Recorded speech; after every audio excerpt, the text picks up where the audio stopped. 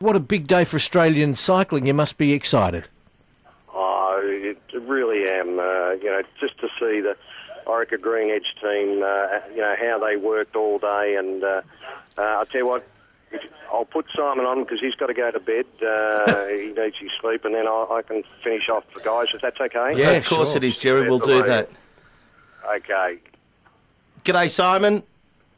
Hello. Simon, Tony Leonard, congratulations. Not only on winning a, a stage, I think it's your first stage win in around five years, but being the first of what hopefully is many for Green Edge.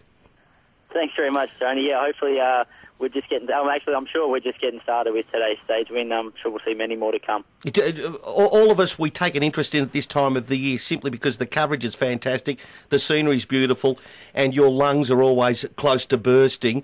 Just take us take us through the stage and how everyone worked together that gives you the sa- that gave you the stage win. Um, well, uh, the plan today was to have uh, a rider in the breakaway, and uh, Simon Clarke managed to do that. He jumped up the road in the, in the uh, uh, early attack. Um, so we, we were riding in defensive right from the, the start of the stage. And then basically we knew uh, there was a good chance it was going to be a, a reduced peloton sprinting for the win today. And myself and, and Daryl Impey were sort of planning to be sort of in that final in that final split, going for the win. So um, the likes of Stuart O'Grady, Brett Lancaster, and Svein Tuft, they were basically taking good care of us throughout the stage, getting us uh, drinks and, and food when needed, and just protecting us uh, uh, out of the wind. Um, and then we got over the final climb, coming into the finish, and uh, uh, we caught uh, Simon Clarke's group, and also Cameron Meyer and Michael Albasini were there to um, to reel back one last little breakaway and, and lead me out for the final, and I was able to, you know, finish it off with a sprint win. Simon asked Cadel Evans this question a couple of years back after he won the tour. Uh, he looked at me like I was an imbecile. You'll probably answer the same way. But when you're actually riding and we turn on the television and watch this unbelievable scenery, which Tony just alluded to, do you ever notice what is going on around you in terms of that scenery?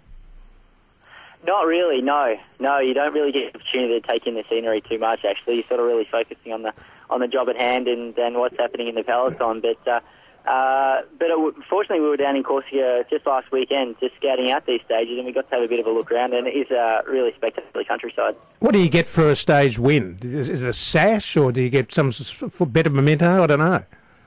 No, you get a bouquet of flowers and, uh, and a bit of a trophy. and, but uh, yeah, yeah, I think uh, yeah, the recognition that you get for winning a stage at the Tour de France is uh, is uh, fantastic. And have you pulled up personally? Any lactic acid build up in the quads? You've uh, come through it okay?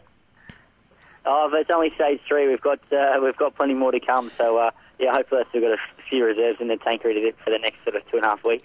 Fantastic, Simon. Congratulations. Quick word, if we could, please, with Gerry before the six thirty news. No problem. I'll pass the phone You back to beauty. Thank you very much. There Bye. we go. Hey, Gerry. Yeah, guys, um, no, uh, exciting day. Exciting. We've got 20 seconds to the 6:30 news. Just as it unfolded across the line, what was your immediate reaction, your immediate emotion, Gerry? Uh, excitement, uh, relief uh, that, you know, we've finally got one up and it'll give the boys confidence to go on.